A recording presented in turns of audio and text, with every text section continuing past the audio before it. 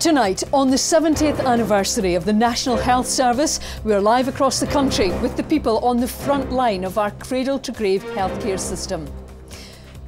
Our lives in their hands. We talk to the surgeons pioneering the medical advances over the last seven decades. The new Health Secretary on the scale of her task to meet the challenges facing the NHS in Scotland. And we're in the hospital kitchens to find out why fish custard and gruel are off the menu 70 years on. I'm Andrea Brymer. This is the STV News at 6, live from Aberdeen Royal Infirmary.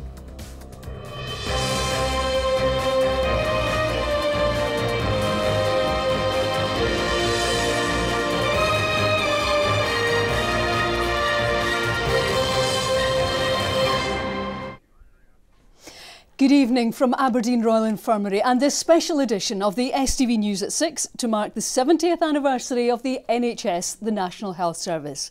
All this week we brought you stories chronicling the healthcare system we've all grown up with.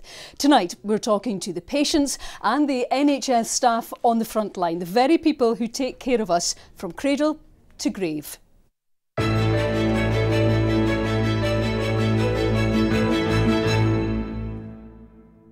But now, here's Ben with a roundup of some of the rest of today's news. Good evening. A report into a helicopter crash in Norway, which killed 13 people, including a man from Aberdeenshire, says significant lessons must be learned. Investigators say the incident had clear similarities to an earlier fatal accident off the coast of Peterhead in 2009. Rachel Stewart reports.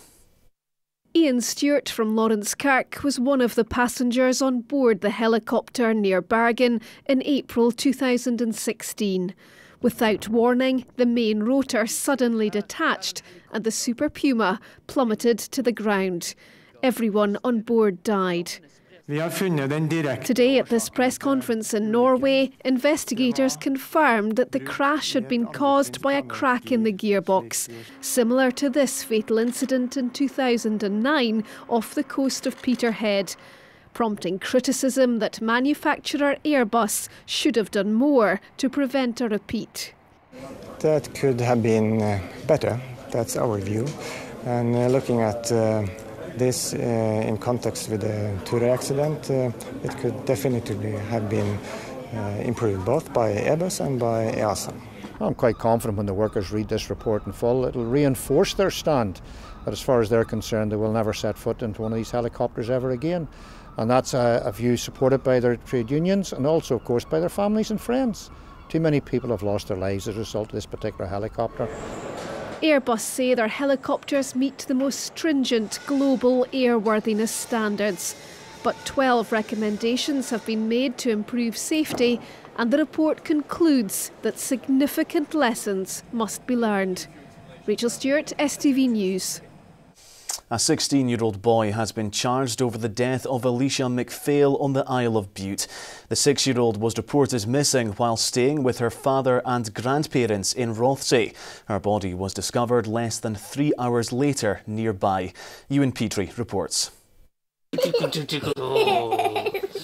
Those who knew her have described Alesha MacPhail as a smiley wee girl. This video posted online shows the six year old laughing and joking with her uncle. Callum MacPhail said he wanted to show everyone what a lovely girl his niece was.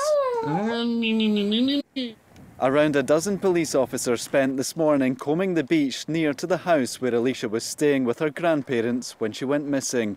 They were searching for evidence to give them a clearer picture of exactly what happened to the six year old. Alesha was reported missing from this house early on Monday morning.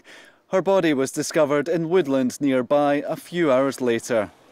Last night, police confirmed they had arrested a 16 year old. This afternoon, they gave an update on their investigation. I can confirm that uh, a 16 year old male has this afternoon been charged in connection with the death of six year old Alesha MacPhail, whose body was discovered on Monday morning. I'd like to take this opportunity to personally thank Alesha's family who have shown incredible bravery through what has been an unimaginable ordeal during these past few days. Every day, the messages of sympathy and support arrive at Alesha's grandparents' house. The growing tributes, a sign of the shock felt on this island and beyond as details emerge of what happened here. Ewan Petrie, STV News, Rothesay.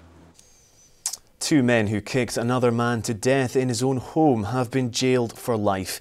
Ryan Gibb and Cameron Laurie have been convicted of murdering 37 year old James Chadwick at his flat in Aberdeen's Holland Street in 2015. Both men will each serve at least 18 years in prison before being considered for parole. There was major disruption for hundreds of workers in Dundee this morning after an underground explosion caused a power outage. A loud bang and rising smoke from a manhole cover was reported by a member of the public at 25 past 8 in the Greenmarket area. Police and fire engines closed the road while investigations were carried out. Power was restored to 39 businesses by noon. SSE blamed an underground cable fault. Football now, and Inverness have named defender Carl Tremarco as their new captain. The 32 year old made 139 appearances since arriving five years ago. Tremarco is hoping to lead the Caley Jags back to the Scottish Premiership. I don't see why if we don't get a good start, you know, we can't kick on because we finished the season like I saying. Yeah, we've got new bodies in and hopefully they'll make us better. Um, but like I said, regards to myself and, and, and leading the team, it's just it's just what you see from me every week and you've seen for the last five years. Things won't change from, from, from my point of view, really. Well, that's all from me. Now back to Andrea for the rest of our NHS at 70 coverage from Aberdeen Royal Infirmary. Thanks, Ben. Welcome back to Aberdeen Royal Infirmary on this 70th anniversary. And that just about sums it all up. From cradle to grave for all its ills. For 70 years, 24 hours a day, there is the NHS. And of course, these people here to help you. The big questions about its future for the next 70 years may still have to be answered. But today, on this milestone anniversary, it's all about the celebration of how far the service has come. And thanks to all of you. Good night.